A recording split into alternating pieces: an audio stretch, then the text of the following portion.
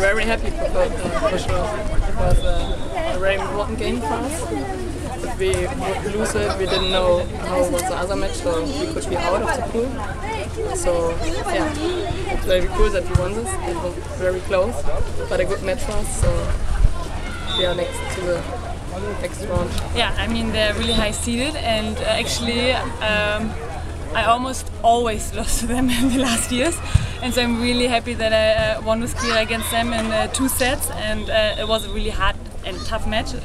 Um, but yeah, in the end we just had the better elements like serving and some blocks, really good blocks by Kira, so we put them a lot of uh, uh, under pressure. So it was in the end really good for us.